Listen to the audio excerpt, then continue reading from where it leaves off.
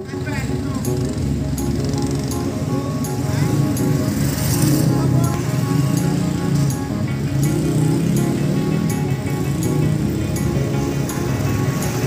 the real, find the real me. So let's go. This is a feeling. Cause you know, oh, it's time for. Uh, penyebarannya masih terus ber, uh, terus bergerak. Dan sebagaimana yang disampaikan oleh Bapak Camat bahwasanya di Kecamatan Kota ini penyebaran COVID-19 sudah uh, diambang batas. Dalam arti ya cukup mengkhawatirkan. Apalagi melihat perkembangan dinamika Bupati sudah mengambil sikap antisipasi jangan sampai nanti penyebaran COVID-19 di Kertomoyo ini semakin berkembang.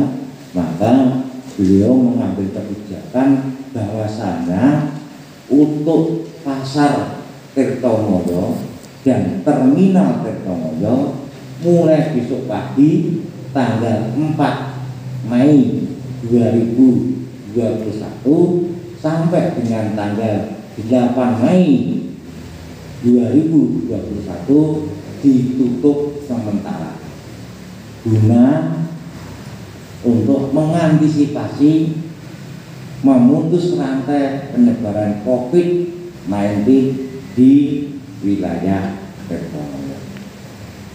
Nah terkait dengan hal tersebut berdasarkan pengalaman kami yang sampai dengan saat ini itu sudah ada tiga pasar rakyat, pasar tradisional yang ditutup. Itu yang pertama itu di pasar kota Wonogiri, lalu yang kedua itu di pasar Sidoarjo Wonogiri, yang ketiga yang kemarin baru saja itu di pasar Wogino.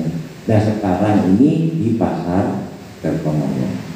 Nah terkait dengan pelaksanaannya itu yang jelas mulai tanggal 4 sampai dengan tanggal 8 itu pasar rakyat sudah tidak ada aktivitas.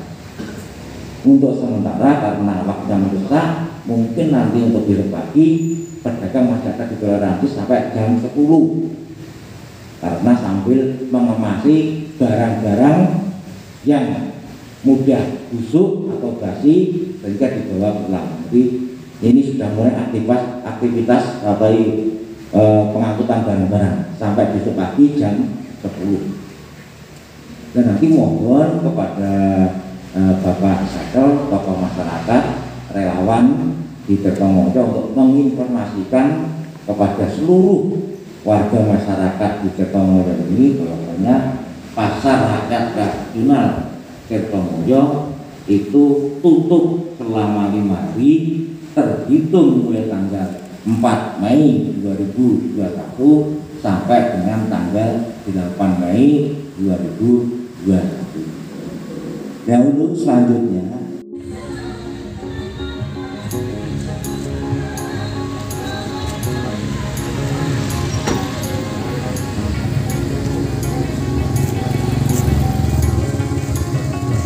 Find the real, find the real me. So let's go.